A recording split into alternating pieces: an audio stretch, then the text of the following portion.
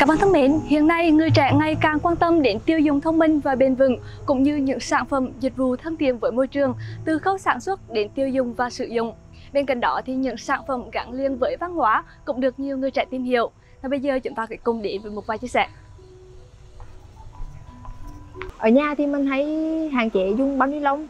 thì tất cả mọi thứ hoặc là từ những sản phẩm ở đây thì mình đều dùng bằng túi giấy hết hoặc là cái hộp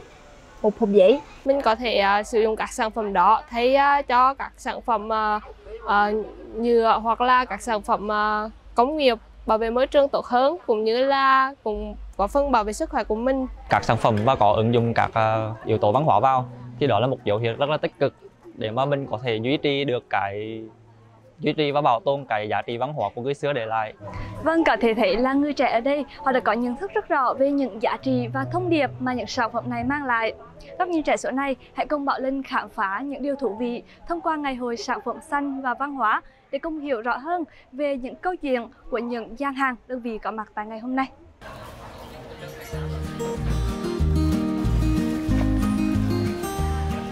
Ngày hội sản phẩm xanh và văn hóa với sự góp mặt của 35 đơn vị đến từ Hội An, Đà Nẵng và Thừa Thiên Huế cùng nhiều hoạt động đặc sắc.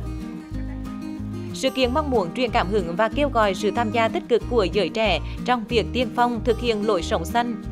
đồng thời phát huy giá trị văn hóa truyền thống một cách thân thiện với môi trường. Đây là lần đầu tiên ngày hội được tổ chức dưới hình thức hội chợ xanh được diễn ra trong suốt ngày cuối tuần, nhiều hoạt động nâng cao ý thức về giảm thiểu rác thải, bảo vệ môi trường đã được tổ chức đa dạng, ngập tràn tinh thần sống xanh bền vững trở thành một điểm đến thú vị dành cho các tín đồ yêu văn hóa và quan tâm đến lối sống bền vững. Ngày hôm nay mình mang đến ngày hội những thực phẩm xanh đến từ vườn cộng đồng Kim Long với em mong muốn em uh, truyền tải thông điệp đến mọi người hãy sử dụng những thực phẩm xanh để bảo vệ sức khỏe của cá nhân và gia đình của các bạn. Nhóm mình muốn khách hàng khi mua của sản phẩm của chúng mình sẽ có những uh, túi giấy hoặc là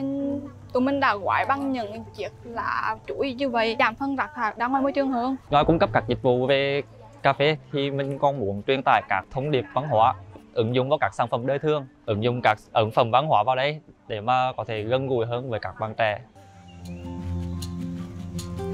một không gian trẻ trung năng động được tạo nên bởi những người trẻ mang tình yêu sâu sắc với Huế,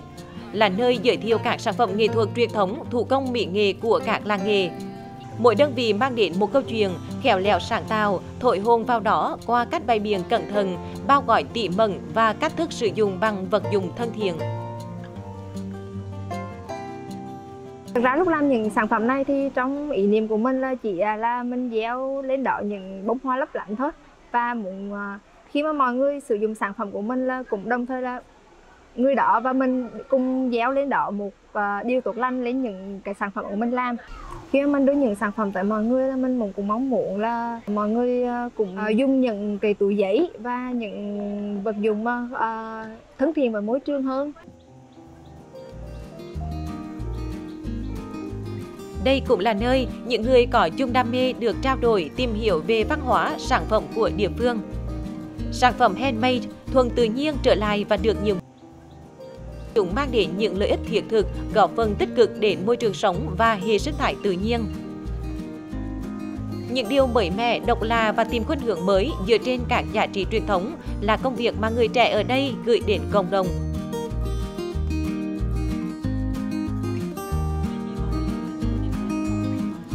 Điểm nhấn của chương trình lần này là chuỗi các hoạt động trải nghiệm workshop.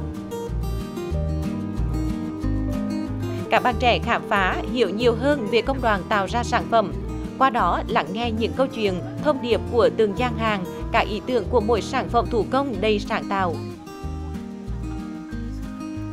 Mình mang đến hôm nay chính là à, sản phẩm hoa giấy thân thiện với môi trường cũng như là lưu giữ những cái truyền thống đã bị mai một tại làng nghề Thanh Tiên. Mong muốn của mình ngày hôm nay là mang đến sản phẩm để các bạn trẻ có thể trải nghiệm cũng như có thể trân trọng và lưu giữ những giá trị kết hợp cùng với nghệ thuật đương đại nhờ đó mà có thể à, đưa à, sản phẩm thủ công mỹ nghệ của Huế cũng như Việt Nam vươn tầm thế giới. Gian hàng bản truyền thống Pháp Lam xứ Huế nhận được nhiều sự quan tâm của cả bạn trẻ bởi tại đây không chỉ thưởng thức các loại bánh truyền thống, người tham gia còn được hướng dẫn cách gói bánh kỳ công, cách mua bánh mang đi cũng dễ thương và đầy ý nghĩa. Đến với ngày hội này mình hoàn toàn không sử dụng sản phẩm bằng ni lông và hướng dẫn mọi người từ trong từng các sản phẩm có thể tái sử dụng nó à, cho các cái à, hoạt động lợi ích của con người để cái hoạt động review nó sẽ được thực hiện ngày một nhiều hơn và thường xuyên hơn. Văn hóa kết hợp với sản phẩm hiện đại mang cảm giác gần gũi thân quen và đó cũng là cách để chúng ta tiếp cận và thêm yêu bản sắc dân tộc. Không gian này đã mang đến nhiều trải nghiệm ý nghĩa, là cơ hội gặp gỡ và giao lưu của nhiều bạn trẻ có cùng mục đích trong lối sống và tình yêu văn hóa. Đến với ngày hôm nay thì mình cảm thấy là rất là thú vị và hứng khởi. Có rất nhiều gian hàng với các loại sản phẩm khác nhau. Từ thiên nhiên cũng có và từ uh, đồ handmade cũng có. Các hoạt động uh, sự kiện ở đây thì cũng góp phần à, giúp uh, mọi người có thể tìm hiểu cũng như là lan tỏa các văn hóa tốt đẹp của mình uh, thông qua một cái hoạt động vừa sánh vừa có văn hóa.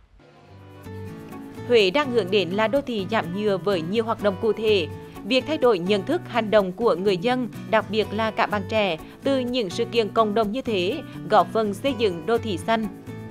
Mong rằng trong tương lai, Huế sẽ có nhiều hơn nữa các ngày hội bổ ích, kết nối những trái tim cùng chung nhịp đập của người con xứ Huế, mang trong mình sự mình quảng bá cho vùng đất văn hóa và thành phố xanh của Việt Nam.